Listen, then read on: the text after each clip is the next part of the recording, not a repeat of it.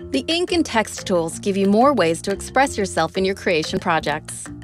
The ink tools are found in the menu on the left side of the workspace. When you activate a pen, your strokes are added to a new layer. You can change the color and thickness as many times as you wish, but as long as the pen is active, your strokes will be added to the same layer. To create new layers, you will need to deselect the pen you are using and select a new one from the menu. Tapping the back button exits the ink editor and returns you to the main creation mode. You can now freely move, scale, and rotate the layers in your project. Sprout features different pen types that you can use to personalize your projects.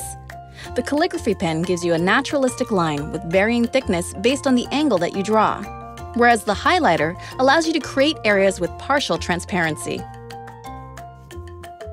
To add text to your project, tap the Text tool in the left side menu and start typing. Tap the back button to close the keyboard. You can now freely move, scale, and rotate the text. Add more text to your project by tapping the New Text button to create another block of text. Or edit an existing text box by tapping it and choosing Edit from the menu on the right side. You can easily change the text, color, font, and size.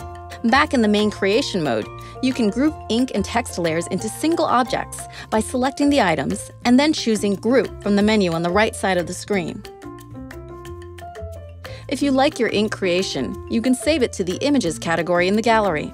Just tap the item in the main creation window and choose Save from the right side menu. Get creative. Add more layers to your projects with Sprout's ink and text box tools.